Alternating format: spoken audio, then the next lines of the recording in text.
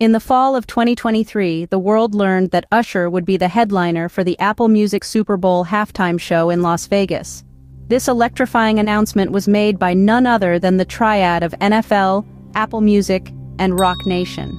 Usher, the genius behind the iconic album Confessions, couldn't contain his excitement about the upcoming show.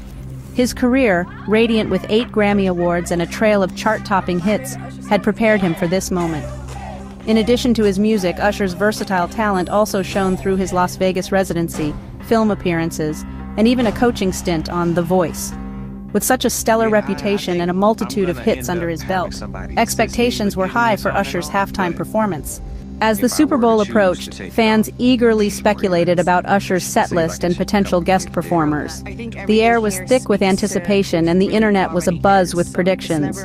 Some fans were convinced that Usher's setlist would mirror that of his Las Vegas residency. Others passionately debated the inclusion of his hit song OMG, a tune that saw Usher at his best. The website, Usher Setlist, became a hub for these speculations.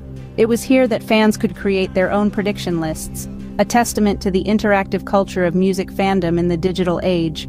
Among the chatter, a tantalizing hint from Usher himself emerged. He suggested that skating could be a part of his performance, a prospect that had fans on the edge of their seats. In the realm of potential guest performers, names like Alicia Keys, Justin Bieber, and even Beyoncé were tossed around. These artists, all of whom have collaborated with Usher in the past, would certainly add a dash of extra star power to the halftime show. As the big day neared, anticipation built up, with fans eagerly awaiting to see if their predictions would come true. On February 11, 2024, Usher took to the stage for the Super Bowl halftime show, ready to deliver an unforgettable performance. As the lights dimmed, the anticipation in the air was palpable. Usher, the eight-time Grammy winner, dazzled the audience with his charisma and talent. His set list, a blend of classics and fresh tracks, had everyone on their feet. Songs like Yeah reverberated through the stadium, while his newer pieces introduced fans to his upcoming album. A master of spectacle, Usher made sure the visuals matched his music's energy. With every beat, the special effects accentuated the rhythm, creating a visual symphony that captivated the viewers. But the surprises didn't stop there. Guest performers added to the star power of the night. The likes of Alicia Keys and Justin Bieber graced the stage, their collaborations with Usher adding an extra layer of excitement to the performance.